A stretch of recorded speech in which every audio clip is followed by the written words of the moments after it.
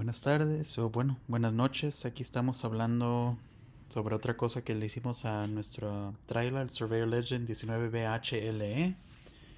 Este, una de las, pues, un problema que teníamos cuando recién pusimos las baterías era de tratar de convertir la electricidad de 24 voltios, que es el sistema que tengo aquí, 24 voltios, a uno de 12. Y la razón por hacer eso es para no gastar el electricidad extra corriendo el inversor, para correr el convertor adentro de la traila, para poder mandar poder al, al frente de la traila. Y si no conocen esta traila, esta traila tiene camas, tiene literas. Y esta batería ahorita está atrás. Y la electricidad que se ocupa de 12 voltios está al frente de la traila. Y eso sería el...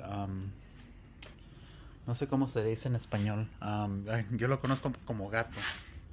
Que sería el que sube el pie para arriba y para abajo para subir la traila, ajustar el, la altura y para conectarse a los carros. Y también tenemos un 9 trailas que corren 12 voltios. Entonces, este ocupaba electricidad allá enfrente y la electricidad tenía que ser de 12 voltios. Entonces compramos un convertor de 24 voltios a 12 voltios y nomás voy a dar un repaso rápido aquí eh, cómo hicimos las conexiones.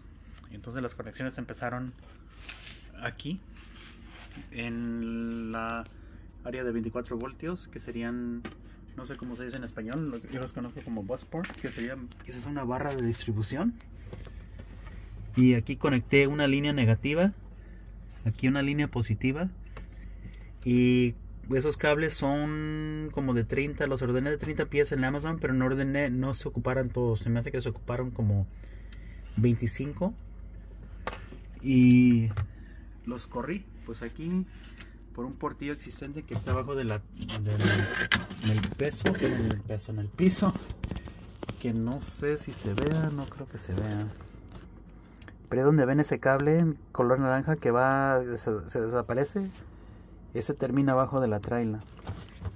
Y lo que pasó fue, pues corrimos esos cables, los metí abajo de la traila eh, deshice unos paneles que hay de plástico que protegen la parte de abajo de, la traila y pues básicamente pasé el cable por ahí metí el brazo aquí adentro y pues sin ver así nada más como le dicen al tanteo lo eh, agarré el cable y lo seguía moviendo hacia el frente de la traila.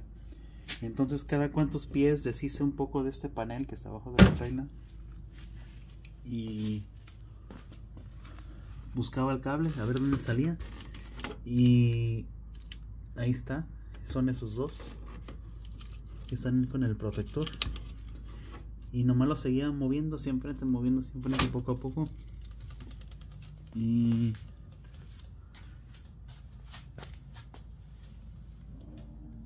aquí seguimos sigue todavía hacia enfrente y nomás era desatornillar estos tornillos de fierro que tienen, no sé cómo se dice en español, de nuevo, washers, watchas, si así las conocemos, pero me imagino que ese no es un nombre que entiendan la mayoría de gente.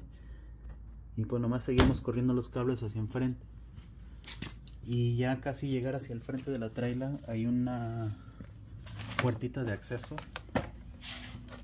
Y en esa puertita de acceso es donde está el cableado del del conector de la traila y por ahí pues metí la mano agarré el cable y los moví hacia una salida que ya existía aquí y los empujé y después los dirigimos a nuestra caja donde tenemos eh, de utilidad donde está nuestra batería. Y pues disculpe todavía no acabo pero pues ya la mayoría está acabado. Y aquí está el convertor de 24 voltios a 12 y los cables que corrí serían estos dos grandes de dos yo los conozco de 2 gauge no sé cómo se diga en español pero son espesos más o menos. Pueden cargar con mucha ah, mucha energía y pues se ocupaba porque estaba muy lejos la corrida de cables. Entonces eso se conectó aquí, el 24 voltios se conectó aquí a la entrada. La tierra de 24 voltios se conectó aquí y también la tierra de dos de las de los artículos de 12 voltios está aquí. Y la electricidad para los artículos de 12 voltios está aquí. Y lo que significa eso de nuevo es que ahora podemos correr estas cosas. El gato este del tongue jack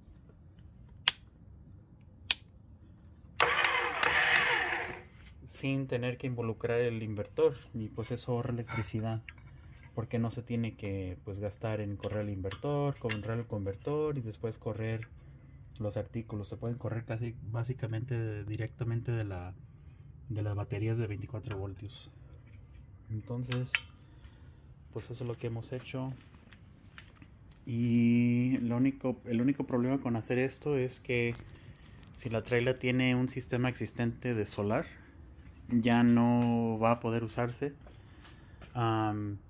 Nosotros aquí esta trailer tiene un panel solar como de 80 o 100 watts, no me acuerdo, pero pues no sirve para mucho. entonces no fue muy gran pérdida. Eh, pero algo que hicimos era instalar una esta no sé cómo se dice gland glándula eh, y tiene conexiones solares que corren hacia el inversor y eso los vamos a usar y ahí están los cables arriba, los cables esos flacos que van al conector SDI y van al inversor. Y esos se van a usar para unos paneles solares grandes que tenemos portátiles eh, de 420 watts cada uno. Y pues nomás ponerlos así en el suelo y ir cargando poco a poquito la batería. Entonces este, esperamos ir campando y a ver cómo funciona eso. Y pues a ver qué pasa, y ahí les comentamos. Eh, cualquier pregunta que tengan sobre esto, cualquier comentario o ayuda para hacerlo mejor, por favor no duden en ah, contactarme. Y muchas gracias.